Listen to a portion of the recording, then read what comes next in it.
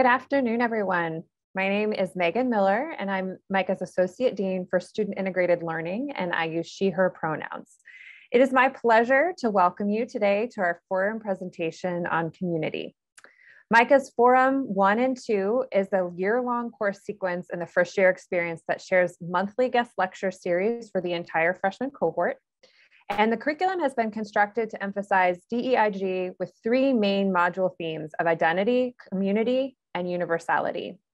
These concentrated, nested themes are grounded in self inquiry and prioritize critically examining our relationships with diverse and inclusive perspectives.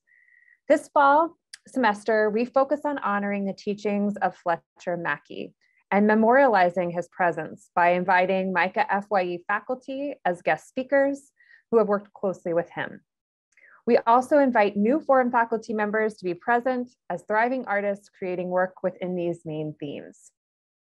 Before I introduce you to our presenters today, I have a bit of housekeeping. If you have any questions for our presenters, you can put them in the Q&A section of the Zoom uh, bar below, and they will be addressed as soon as the speaker is available. And if we run out of time to get to your question, we will have the presenter get back to you via your forum faculty member. So our first presentation to today from today will be uh, from members of the Center for Student Engagement and the Center for Creative Citizenship. These are both spaces on campus where students can find opportunities and leadership and community involvement. Today you will learn about how you can cultivate personal and professional relationships, all while discovering your identities, your strengths, your passions, and developing the skills to be makers and agents of social change. We have the pleasure of hearing from Karol Martinez Doane, Director of the Center for Student Engagement, Alanah Nichole Davis, Assistant Director of Community Arts and the Center for Student Engagement, and Abby Neyenhouse, Director of the Center for Creative Citizenship. And finally, we'll end our time today with a presentation by Ernest Shaw, a native of West Baltimore and image maker. He produces work that highlights the humanity of the viewer by illustrating the humanity of the subject. He is his creative process focuses on the interaction between the work and its audience, with the goal for the receiver to experience the mystery of creation while interacting with the portrait.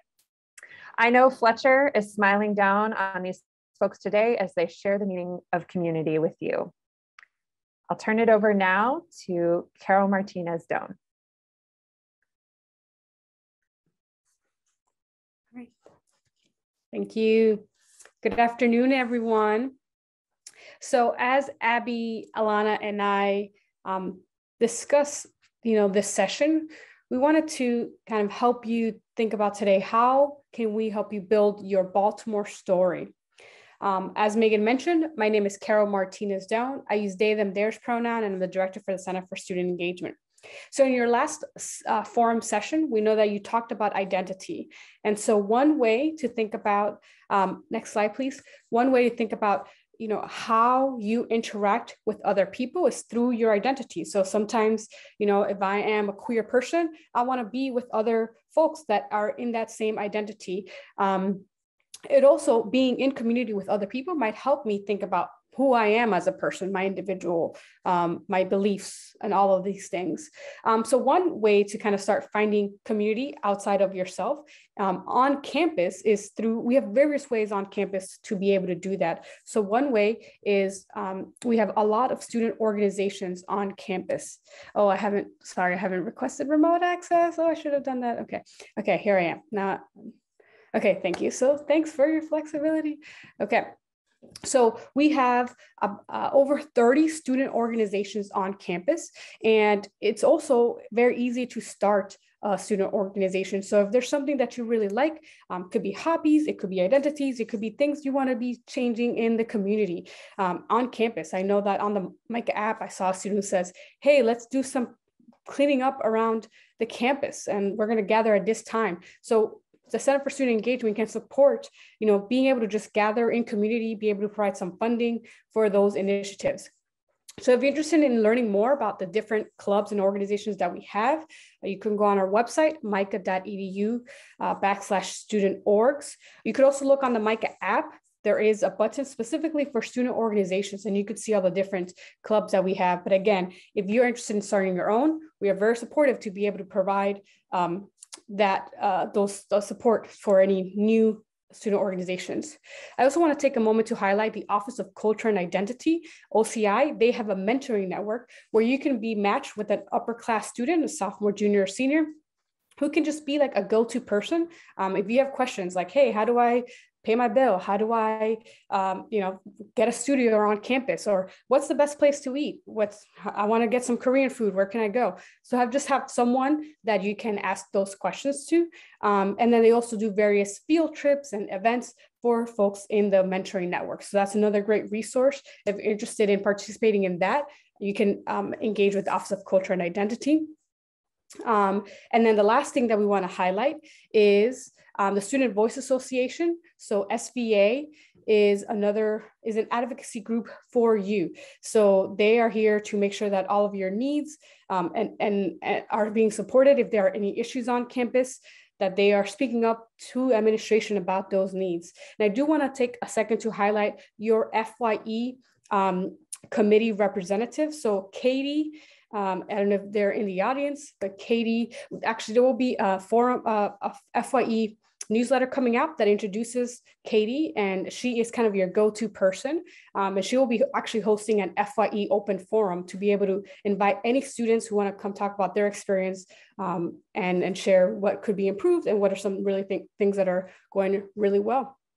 So these are just a few examples of being able to find community on campus. These are not exhaustive and they're not the only way. It could be that your roommates are the way that you find community. So all we're saying we're encouraging you to find your people, find your community on campus. And I'll, I'll turn it over to Alanah.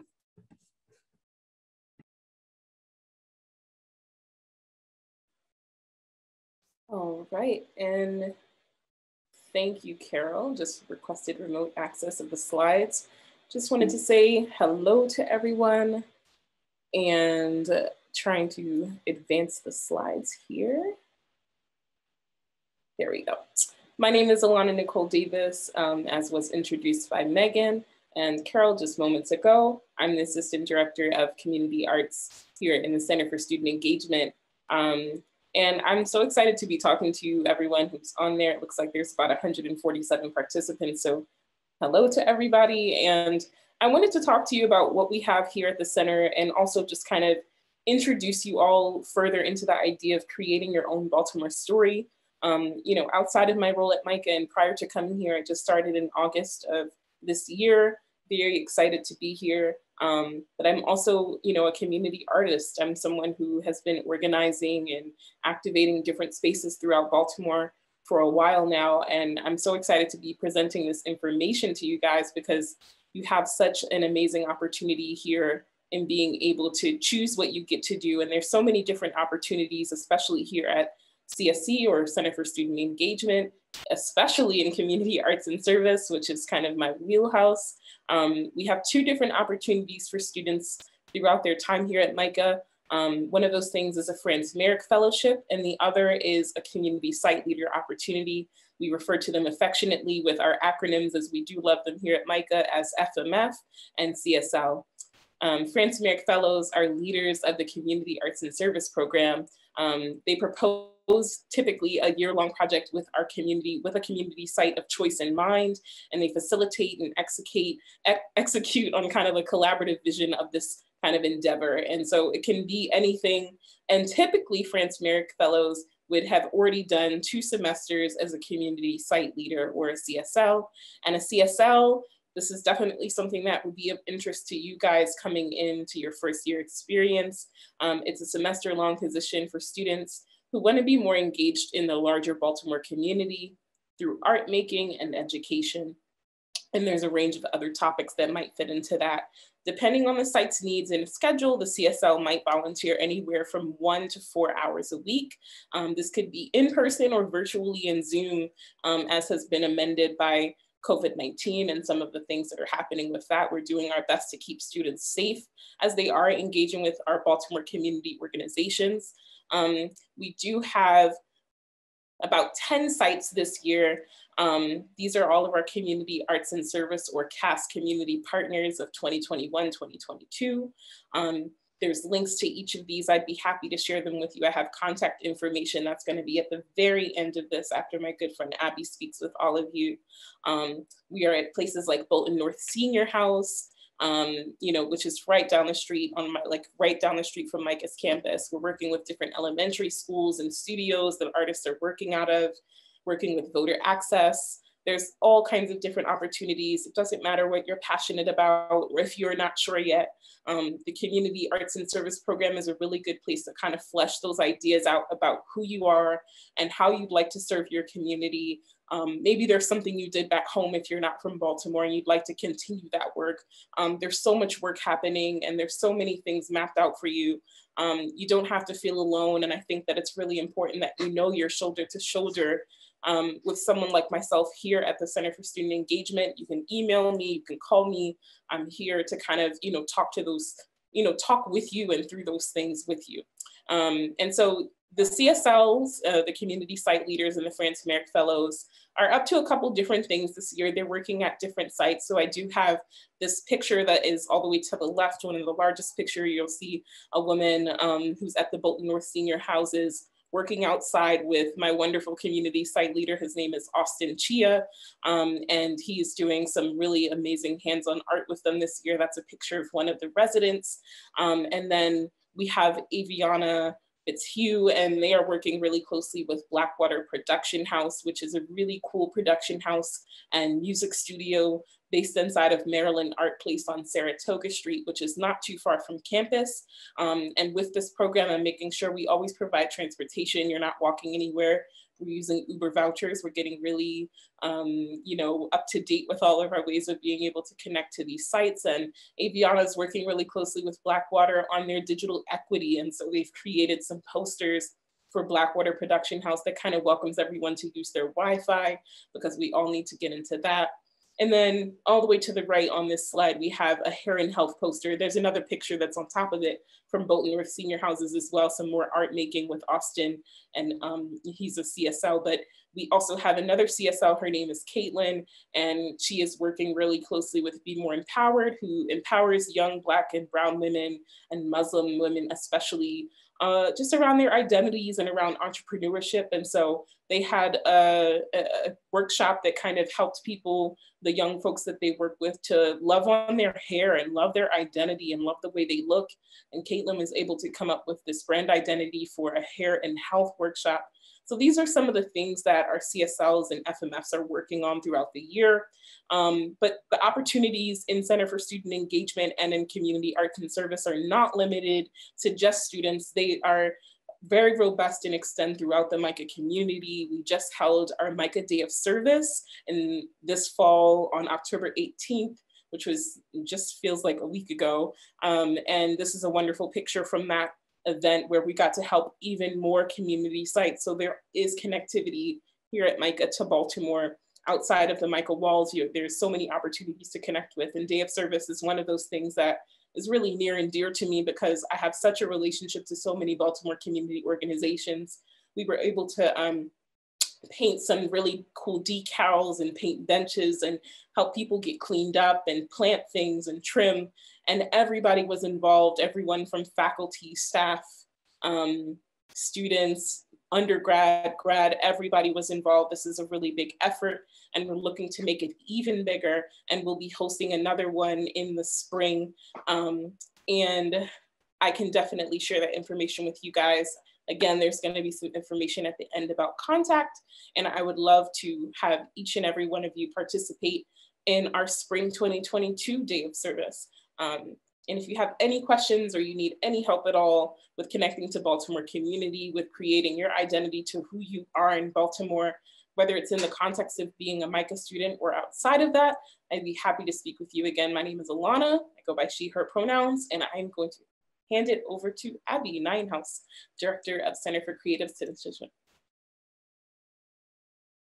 Thank you, Alanah, and thank you for having us here with you today.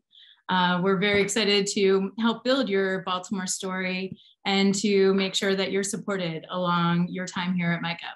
Uh, so when we think about uh, Baltimore and the resources that you have available to you, uh, Center for Creative Citizenship is one of them. So when you think about the work we do, because I know the name can be confusing, um, we uh, support community partnerships throughout Baltimore. And so we um, are here to connect you to projects and organizations that are looking for MICans to plug into. Uh, we are also here to support the curriculum and make sure that uh, you have opportunities to uh, experientially get involved in the city during um, your various classes that you'll have over the next few years. And then finally, we're working to build on global citizenship um, and making sure that anyone that can vote in US elections elections can do so, uh, but also that there's lots of ways for artists and designers to create change and to make impacts in our communities. And we're here to help facilitate that and make it easier for you and help you find your Baltimore place to plug in. Uh, so I'm very excited to share some of the things that we do so you know uh, where to go to and how you can access some of our resources. So first for our radical partnerships, the picture there is our Baltimore Design School. Uh, that is a public high school in Baltimore, public middle school and high school in Baltimore that focuses on fashion design, architecture, and graphic design. So it's one of our strong community partnerships, and we work very directly with them. Uh, we even have an AmeriCorps member from MICA that is physically on site with them to support their programming. Uh, and so when we think about where that is, on the scheme of things, Baltimore is a city of neighborhoods. There are so many uh, nooks and crannies to our city and places to get involved and things to do. Uh, and so this map, um, if you look on the far left, uh, that is uh, MICA. So that is where we are right now. And if you connect the dot over, that's Baltimore Design School. So it's just a short walk over to uh, Greenmount West and being over in that neighborhood to support the programming there. But then if we just uh, click over this slide, you see these are all cultural centers and partners that we work with in various ways, uh, just in our surrounding community. And this is just a small little snapshot of our immediate geographic area. And so it's just an example of all of the amazing places that you can explore, you can find things to do, and there are ways that you can um, get involved and make change happen with our nonprofit partners.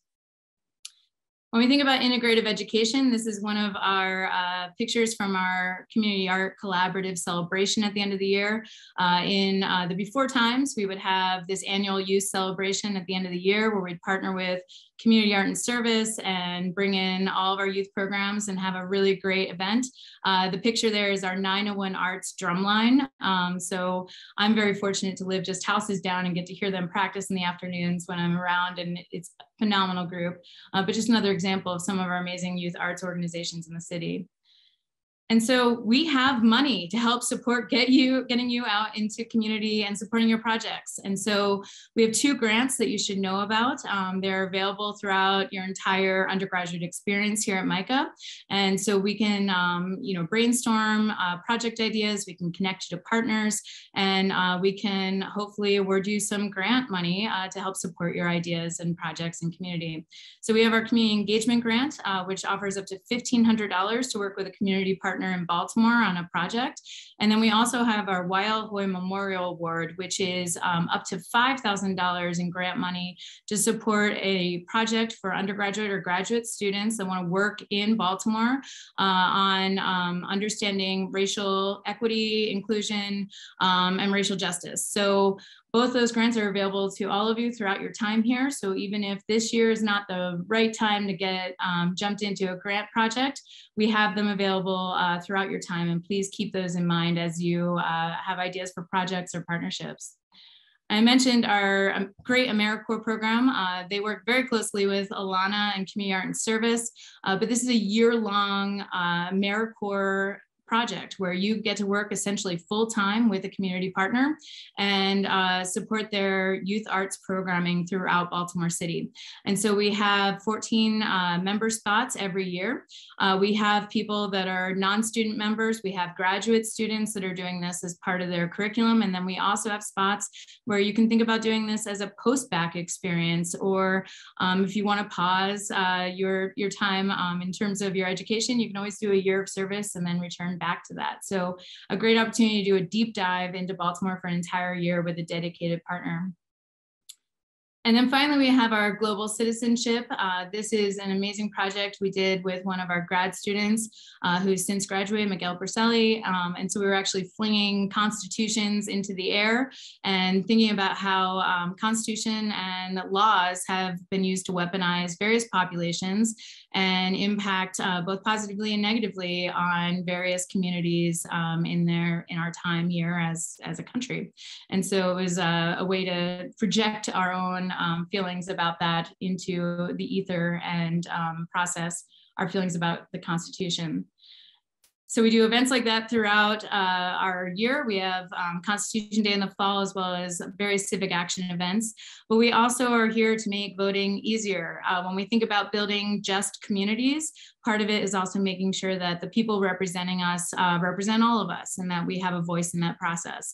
So we're really proud that MICA uh, currently has the highest voter registration rate for eligible students of all colleges in the country. And so that's something we are incredibly proud of. We had 95% of our students registered to vote in the 2018 midterms. And so if you're looking for ways to plug in um, in terms of voting and civic action, uh, that's our easy URL, mica.edu backslash vote. And we have tons of resources about um, getting involved locally, about national elections, and then about um, disenfranchised, disenfranchised voter initiatives. So that way we can include everyone in terms of our conversations on being an active global citizen um, here at MICA and beyond. And so that's the summation of my part. Um, and so I would like to um, welcome my other colleagues who join me on screen. Uh, and um, thank you all for making sure that uh, we were included.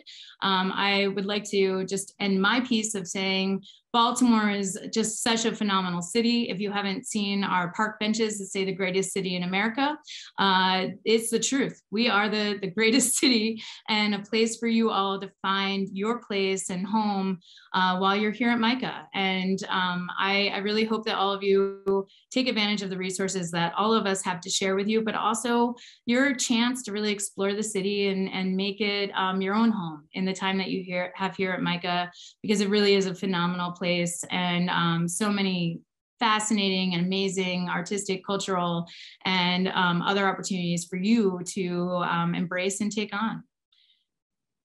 And so we have uh, our last slide is our contact information.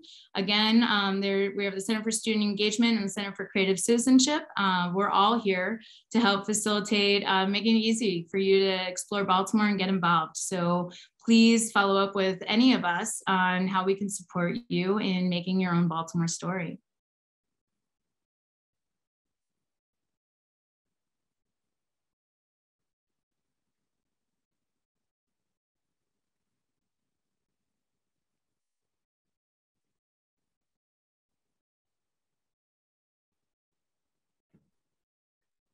Did we want to talk a little bit more? Um, I know before we turn it to Ernest, um, around any examples of artwork and art projects that students have done with some of the resources. So either, I, I know that Alanah presented some examples of um, some projects, and then I don't know if there's anything else you want to share, Alanah, or if Abby, you want to talk about any, maybe one example of uh, the, the, the, what, the grants that have been done.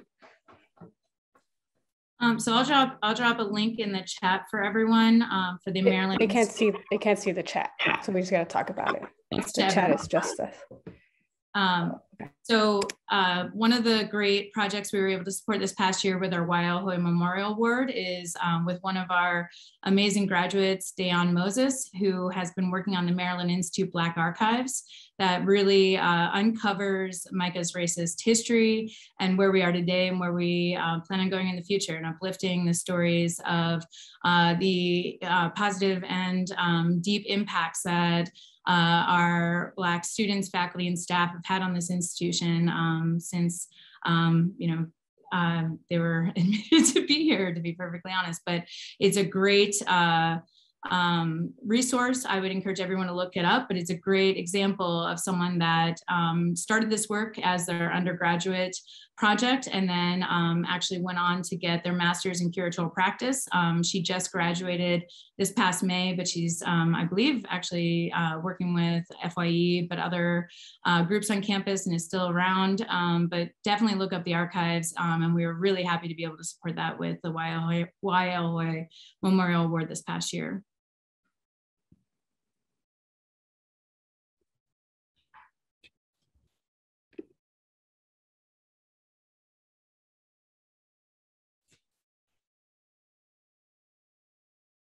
So hello, can, can you hear me? Okay. So I am Ernest Shaw, born and raised in West Baltimore. I don't talk much about myself uh, when doing artist talks. I like, I prefer rather to show you who I am. This is a technique that I use uh, I began to use maybe in a, a little after COVID started. It's influenced by the work of artists such as Arthur Jafa and a few other, but strongly influenced by Arthur Jafa's work.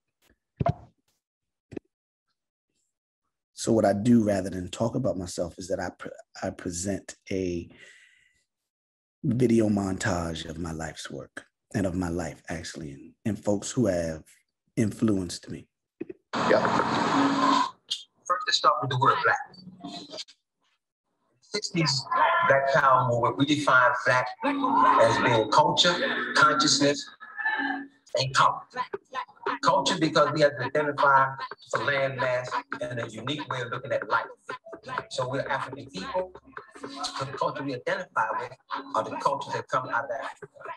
Black, black, black, I'm black, black, my thoughts so black, black, black, I'm black, my skin is so black, I'm rocking all black, everything is black. Rims on this black, wheels black, is black, black, black, on black, black, black, black, black, black, hey. Black out the coop, hop out the roof when I run into you. Dark black is the dark side of the moon. Won't be no truce, won't be no truce. At your funeral in an all black suit. Couple white girls working all black suit. Me and your man marching all black boots. Call up the truth, call up the truth. Punch you in the mouth, then knock out your tooth. I can tell when they're not telling the truth. Talking that, what you gonna do? What you gonna do? What you gonna do? Back and I'm black and I'm acting brand new in the back like, oh word, diamonds all black like what you heard, what you heard, what you heard. Spilling some Hennessy black on the curb, just for the memory of the deceased. When I black out of awaken the beast, what it's gonna be, what it's gonna be. You don't want with a like me, that you never seen my feet so black.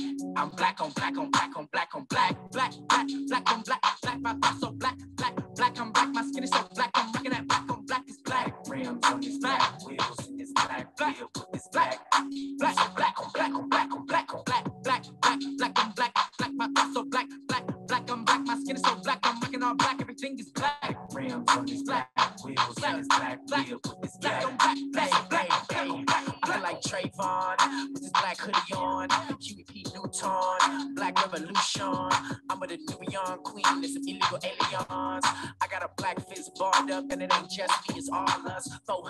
years of oppression, I'm about to give me that black Tesla. Black skin marks on the pavement, cops want to see me in a black cage, black on black on black. Master Juba with the tap dance, Gucci with the dapper dance. Tell him kiss my black.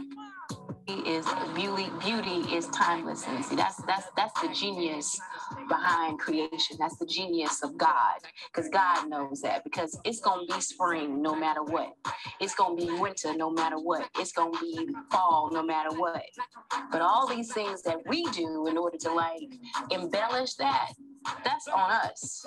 But those things are timeless. Those things will never change.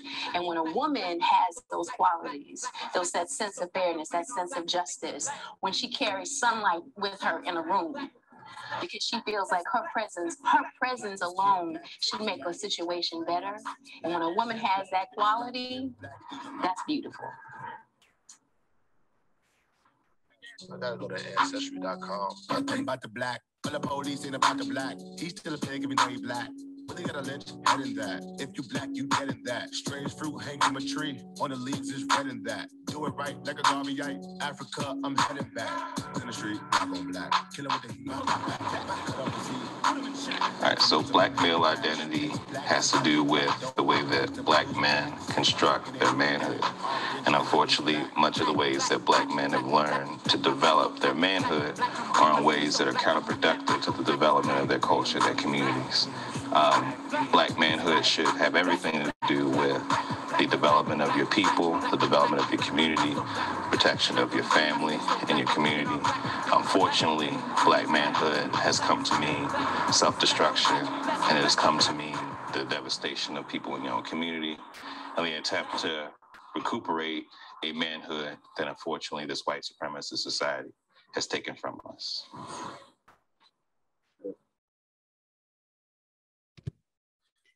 So, as we transition from talking about identity and we begin to talk about community, uh, there are a few ways I like to approach community, and not just from a definition standpoint, but from an understanding standpoint. What is community? How does community work? Um, what's its purpose? Uh, how has it worked for certain groups of people uh, within the context uh, or from an identity framework? So this image is a photograph taken by Gordon Parks of some women who are members of the Nation of Islam. Um, mid century, mid 20th century. Uh, and of the many images Gordon Parks has created, or you know, of the many photographs, this is one that I like to show relative to community. So, community, as I've come to understand it, and as it relates to my work, requires a shared goal or objective. It's not necessarily about uh, where you are from per se, though that can have something to do with it, or is not always simply um, a geographic location. Like there's a difference between a neighborhood and a community. Uh, and I like to, to, to make that distinction. Um, community is a viable form of resistance. So when we put things in, in historical and cultural context, uh, and I think this image by Gordon Parks illustrates that. Communities sometimes, groups of people sometimes come together uh, and it's not always their intention. Like circumstances, lived experiences can create communities. It's not always uh, a deliberate act um, by the people who make up that community. Sometimes uh, circumstances, lived experiences, lived expertise cause people to merge and move in a direction of having a shared goal and objective. Um, and communities exhibit the collective humanity of a group of people. This is directly related to um, it being a form of resistance. When we talk about, when I talk about my work, my work is an illustration, sometimes a representation of what some could define as aspects of the Black experience within the confines of the United States. So it's important when we're talking about community, we talk about the purpose of community, that to put it in its historical and cultural context, that there's an understanding that uh, African people have resisted um, those mechanisms that sometimes force us into being a community. It, there's been aspects of resistance the entire time, um, ever since their um, being imprisoned and enslaved uh, via the, the what one or some call the Great Biafra or the Triangle Triangle triangular slave trade. So there was a constant act act of resistance. And part of that resistance was maintaining their humanity because there was a forced attempt to dehumanize those people. Acts of uh, humane acts, acts of compassion and empathy uh, are direct acts of resistance, even within the, the confines of enslavement and imprisonment. So I like to put that in its context before we move forward. So uh, there is a difference between public art and community art. And as a muralist, uh, much of what I do sometimes in, in the mural making uh, process is create public art. This piece is special to me, and I define it as a, a community art because it was not something that I, I did alone. I did this in tandem with some students, some young people from West Baltimore as part of the Art at Work project, which was run out of Jubilee Arts and Baltimore Office of Promotion of the Arts. Maggie Vajegas and um, Nora Howell, Howell of Jubilee, after the, the murder and death of Freddie Gray, chose to create a mural project during the summer of 2015.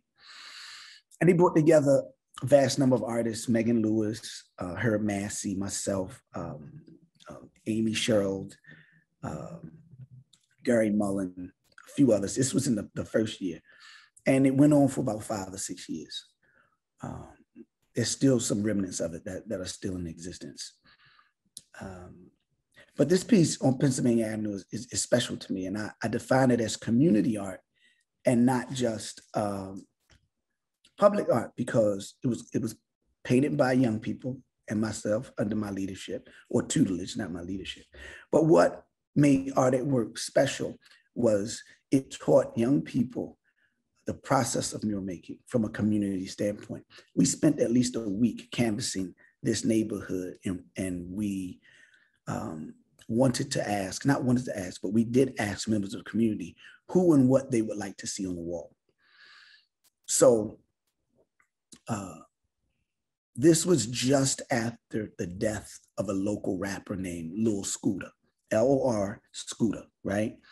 Uh, and you know, I'm also a 20 year pub, 20 year veteran of, of, of Baltimore City Public Schools. I was not a fan of Lor Scoota. I was aware of his existence, but I wasn't necessarily a fan. I kind of aged out of that particular style of, of hip hop. Uh, having said that, the few people I was, um, the young people that I was working directly with at this time wanted to see Lor Scoota on the wall. And it was my intentions, to, and, and I actually said this to him, Lor Scoota, who is the second individual um, top. Uh, the first is Malcolm X, and then there's Lor Scoota, and then Harriet Tubman. I said deliberately to the to students that Lor Scoota would never be pictured next to Malcolm X, and I meant that. Um, after canvassing the neighborhood for a week, 80% of the people in the neighborhood wanted Lor Scoota. No one mentioned Malcolm X. That was my intention. And in these panels, we placed older panels of prominent African Americans. So this was replacing someone else's community artwork. So it wasn't my intention to, to honor Lor Scoota. I was wrong. That's what makes this community and not public art. Simply, I was wrong. The community in mass wanted to honor that young man for the work that um, he did in the community and for what he meant to the community. So it was a learning experience for me. Uh, the young people did paint him.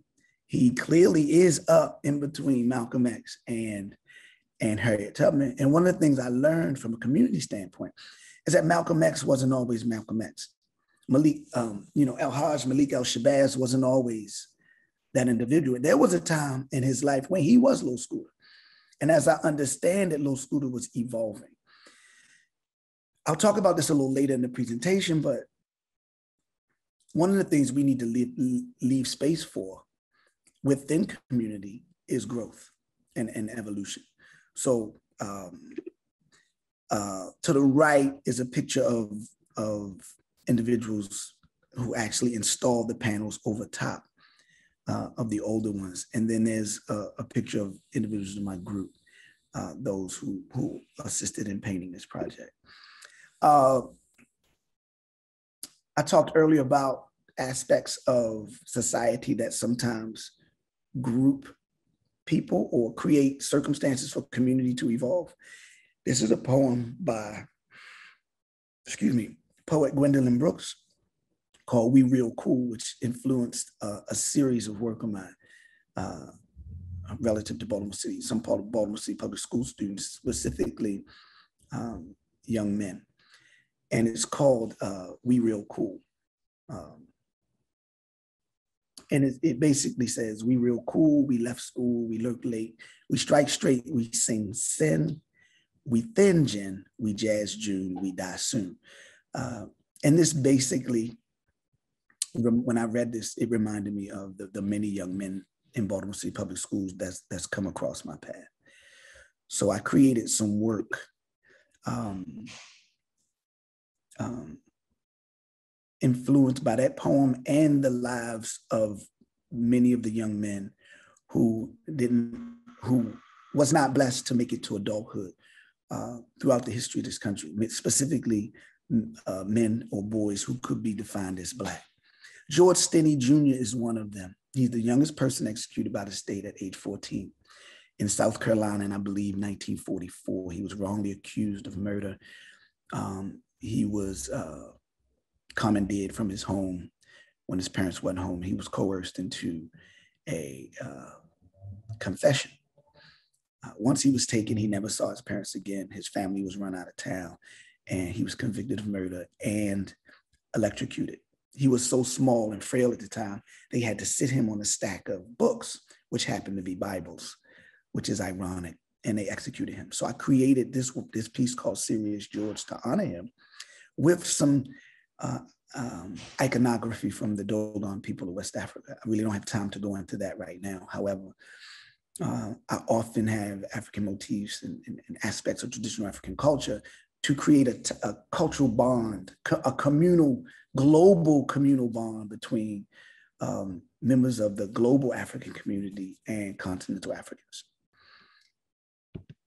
These are two pieces that um, are in that series with the George Stinney. What I like to do is create work of young men around the same age as many of the young men who were not given the opportunity to mature um, due to lived experiences and circumstances. So these are two, two portraits of two of my students.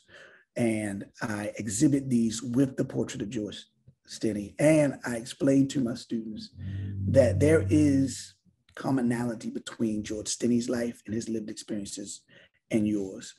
Uh, and again, there's some aspects of traditional African culture in the in the mass here. I just don't have time to expand upon that.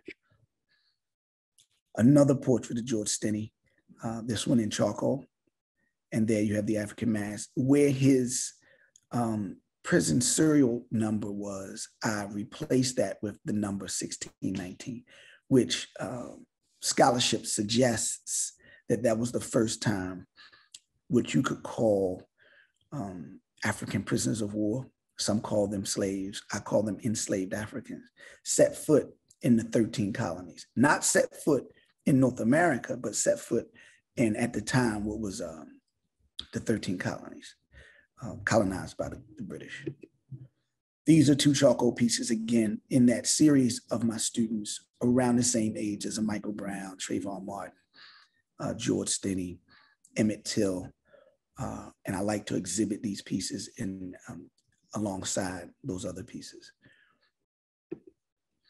This is a young man by the name of Ota Benga, and I'm going to, um, I'm not going to talk too long about this, but late 19th, early 20th century, uh, Ota Benga is from what can be considered the Congo area of, of Central West Africa. Uh, and he, again, depending on what scholarship you go by, he was brought here um, by the Belgium as a part of, uh, um, to be exhibited in the World's Fair. Somehow he ended up in the Bronx Zoo uh, exhibited with primates. Uh, there were some folk who were so outraged by this. Uh, there were people who worked to free him. He never made it back to his home in, in, in Africa, Central Africa, and he wound up committing suicide in Virginia. So, I mean, I chose to, to highlight Ota Benga and actually make him a part of this presentation, presentation because it's my belief that if he did commit suicide, he did because he lost and never regained uh, a sense of community. Uh, so I think in essence, he lost his humanity because he had no opportunity to connect with those people uh, with a shared vision and goal. Uh, this is a piece called Crossing Guards that I did for, I was commissioned to do by HBO for the movie uh, Charm City Kings. Uh, very briefly, it's just a portrait of two uh, squeegee kids, or they're not really kids, squeegee young men or young men who work on the corner of North Avenue and Maryland. Uh, and uh, if you live anywhere near Baltimore City, you know that they've received a lot of negative press. Um, again, I don't have much time to go into it. I just wanted to highlight their humanity in this painting. I wanted to highlight their humanity in this painting um, and just show that once you highlight someone's humanity in your in, in your work, you immediately connect them to someone because there's no such thing as a self-made individual. You immediately connect them with the community. It's just up to you uh, to do the research to figure out and find out what community they are connected to. And once you find that out, that immediately justifies their existence as human beings. Um, these pieces are a part of a series I did specifically on Black women, um, young and older Black women, and their relationship to the beauty standard, um, to their relationship to, and by beauty standard, I mean uh, in the context of the United States or in an Anglo-Euro perspective on beauty. Uh, and this was inspired by my relationship with my daughter, who's now an adult, watching her grow up, um, reconnecting with my mother, uh, and remembering my mother and her afro in the 70s and her return to natural hair as an older woman. Uh, uh, watching my wife evolve and go from um, straightened hair, uh, chemically processed hair to natural hair. And then the many friends, sisters, and cousins that I had, and becoming aware uh, of the relationship that Black women have had and have and continue to have uh, with what is considered to be beautiful. And it goes much deeper than that, but um, that's a conversation for another time.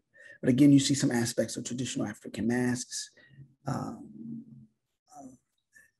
um, and uh, in this case, the masks serve several purposes. Again, work inspired by um, African American poetry, a piece called We Wear the Mask by Paul Laurence Dunbar, and some work also done by Maya Angelou.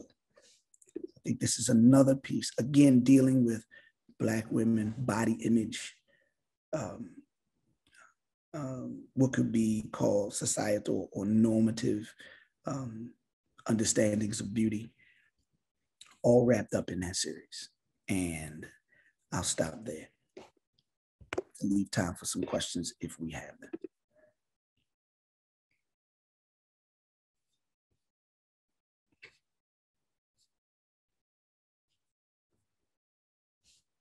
Is that okay?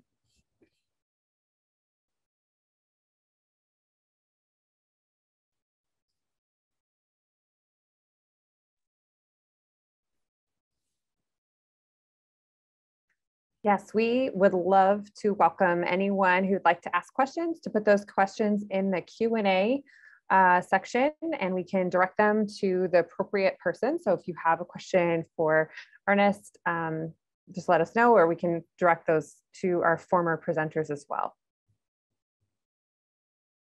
Will we be able to see the questions?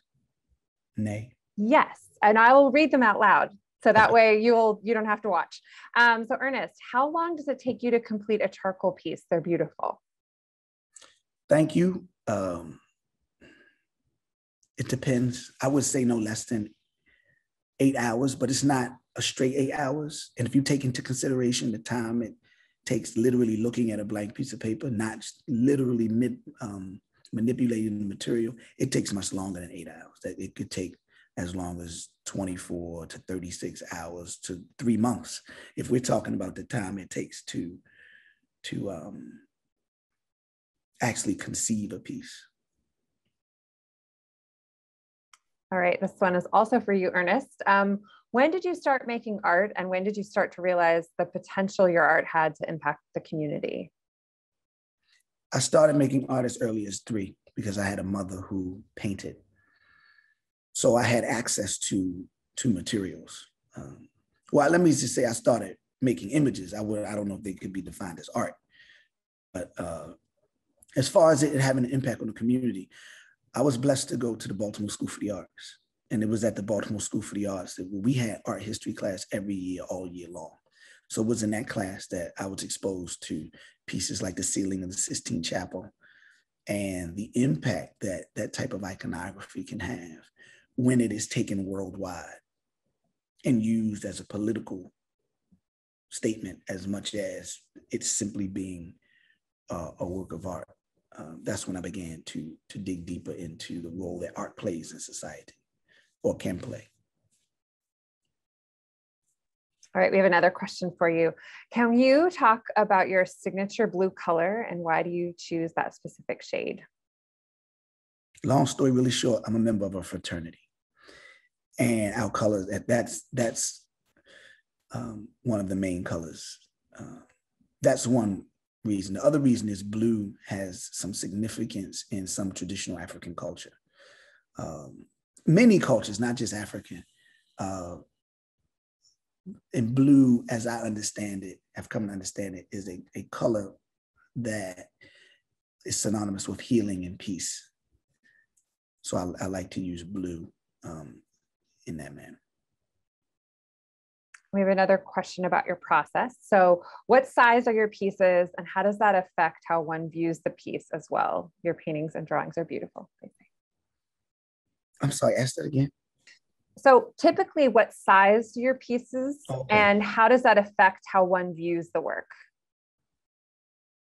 uh, well it's an interesting question because my work is getting larger now i'm going larger um, it definitely impacts the work one of my professors my from graduate school and i was well into my 40s at this time just walked over to my work and said go larger and walked away uh, i think though the larger you go uh, or the larger you think um, I think that it expands your ability to create.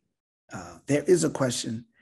Uh, it says, can you talk about how students should think about building community and relationships here in Baltimore before doing public art projects? Absolutely. Uh, wow. Well, I know there's a graduate program at MICA, uh, a community art graduate program. If, if you are interested in doing public art in Baltimore, you should definitely take a look at that graduate program. When you or if and when you matriculate up to that point. But you can also, also just take a look at the program even, even as a freshman.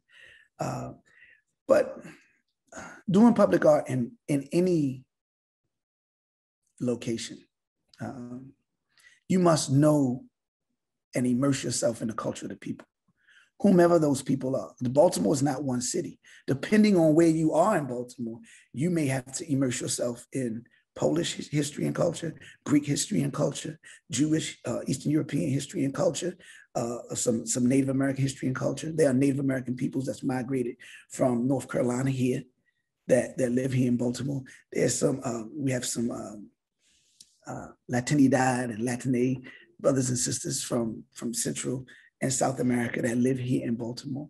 Uh, um, German, a German. community. So wherever you are, within Baltimore. Remember that Baltimore is not one city. Uh, historically, it's never really been. And, and just know that what you create must be culturally relevant and, and culturally responsive. And um, create a lens that is very open-minded and um, thick, thick-skinned and just listen to the people and allow the people to drive your work, you know. Uh, because it's really not about us. It's about, it's not, you know, it's not me, it's through me.